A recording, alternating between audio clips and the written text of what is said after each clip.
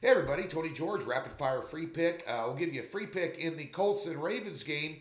We'll also, why not, two team six point teaser time on Sunday as well with a couple of dogs we're going to tease up. Indianapolis at home taking on the Baltimore Ravens. The Baltimore Ravens look ahead line was three in this ball game. Now it's down to a pick 'em. Lot of love for Colts. Why? Look at who the Colts have played this year, including getting beat by Jacksonville. Last week, the Ravens doubled, doubled the yards that Pittsburgh had in that game and still managed to somehow lose it.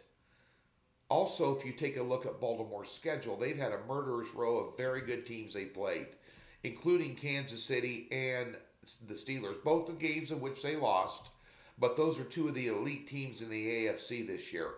Uh, the schedule for Indianapolis, weak at best.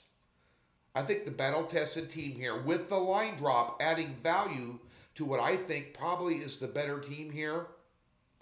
Equal game at quarterback, because Rivers is a little bit better thrower, but Jackson can make things happen. I'll take the Ravens in a pick 'em here for your rapid fire free pick on Sunday. Also, why not do a two team six point teaser with a couple underdogs I think that has some value this weekend, even at the line they're sitting at. Surprisingly, the Detroit Lions being one of them.